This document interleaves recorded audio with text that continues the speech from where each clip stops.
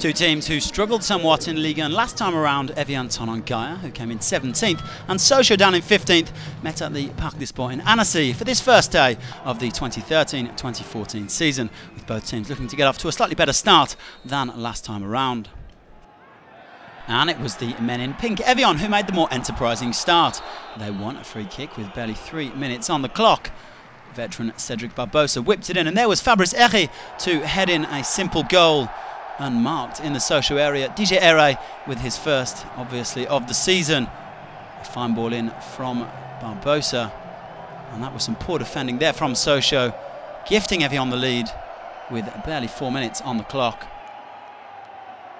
Well, the men in yellow looked to hit back. Ryad Boudebouz, one of their star performers last season, whipped in across to the back post. Roy Contout got up to it, but it wasn't to be enough to get past Bertrand Laquait. He couldn't handle it and it went back behind for a corner.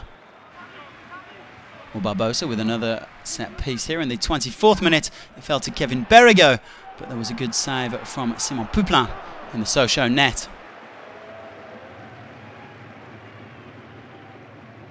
Well then, in the 35th minute, Evian had an excellent opportunity to double their lead, but Sebastian Corchia managed to get the ball off the line. A fine save here. It was Ligue 1 debutant Nicolas Benezet with the attempt, but the ball didn't have quite the legs, and it may even have been going off target as we see here. Half time then 1 0 to the hosts, Evian.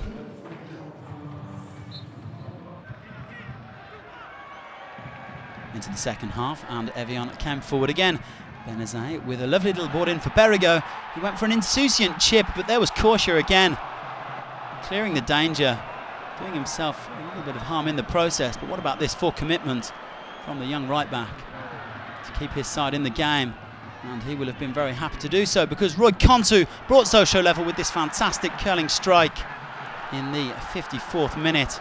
Fantastic hit from him. Well, the Evian defenders didn't see this one coming.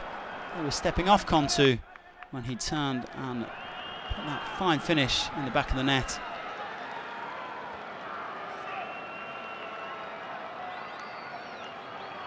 Keeper got his hands to it, but it wasn't enough.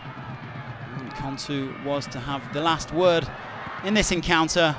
A shot here comfortably saved. And so it finished 1-1 at the Parc des Sports. Perhaps not the opening day that either side would have dreamed of, but they avoid defeat. 1-1 the final score.